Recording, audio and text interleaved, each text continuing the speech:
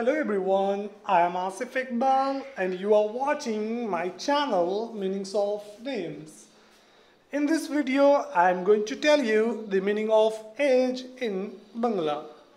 The meaning of age in Bangla is bias. Bias. The meaning of age in Bangla is bias. Thanks for watching my video and don't forget to subscribe my channel.